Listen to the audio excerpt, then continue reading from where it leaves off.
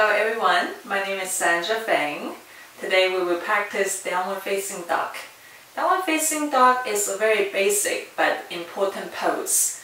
In a Vinyasa flow class, we do it at least a dozen times. Yet it can be very complicated. So today we will talk about the alignment of this pose in detail.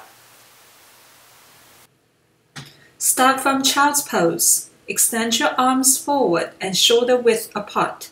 Keep your knees and feet hip distance apart. Tuck your toes under and lift your sitting bones up towards the ceiling. Take a moment to check your hands. Spread your fingers. Make sure that all the bases of your fingers are grounded down so that your body weight is distributed evenly across your fingers your wrists will be more stable and less vulnerable to injury. Extend your arms, but be aware not to lock your elbows.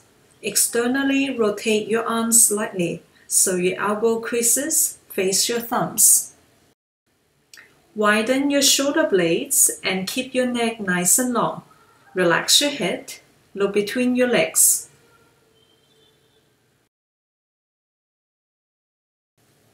Keep your spine long and straight, your armpits and chest open.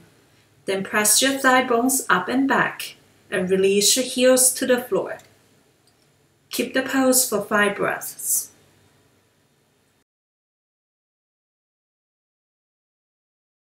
If your body looks like this, your armpits cannot open to 180 degrees. That probably means your shoulders are tight Try to open your shoulders with a strap.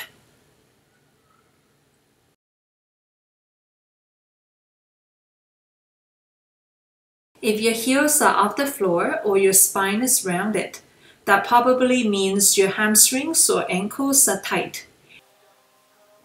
It's more important to maintain a straight spine than to reach your heels to the floor. Or you may bend your knees slightly Keep your thigh muscles engaged. To open your hamstrings, you can use the strap and stretch out your hamstrings.